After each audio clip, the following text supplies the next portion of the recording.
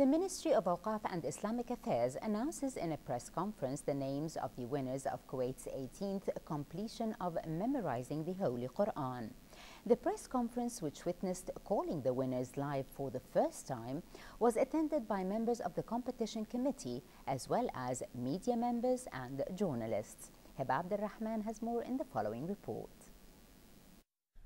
Minister of Justice and Minister of Awqaf and Islamic Affairs Yaqub al-Sani said that Kuwait is distinctive in the Muslim world in competitions of memorizing the Holy Quran and pioneer in the conservation of the Quran. In a press conference to adopt the results of the final qualifying great competition, he said that the competition, which came under the auspices of His Highness the Emir Sheikh Sabah Al Ahmad Al Jaber Al Sabah, women have a privileged position in this superiority as the women won the first ranks, praising the role of women, which proved efficiency in the Kuwaiti society. Well, it is my pleasure now to uh, to announce the uh, results of the uh, people who memorize Quran Kareem, the whole Quran or 25 part or 20 or 15 or 10, and also 5 and 1 and, and 4, the youth and the uh, men and the women. Alhamdulillah, thank God that we have uh, 163 competitor who won the trophy of reciting Quran Kareem.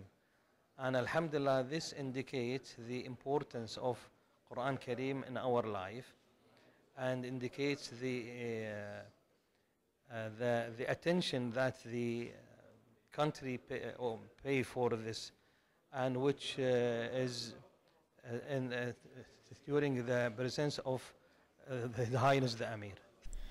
The number of agencies participated in the competition is 32, varied between civil and governmental, and the total number of winners of the competition reached 163, including 69 men and boys, 73 winners from women and girls, 16 winners from the people with special needs, along with 5 winners from correctional institutions.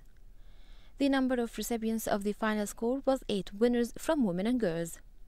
The Ministry of Awqaf and Islamic Affairs got the title of the Superiority Year after gaining 250 points.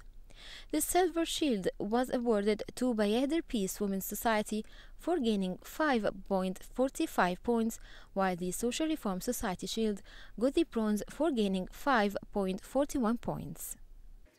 After almost two weeks of the continuous competitions and rounds among the contestants, Kuwait's 18th competition for memorizing the Holy Quran has come to its end with the announcing of the names of its winners. From the headquarters of Kuwait Awqaf Foundation in the Dasma area, I am Heba Abdurrahman reporting for English News.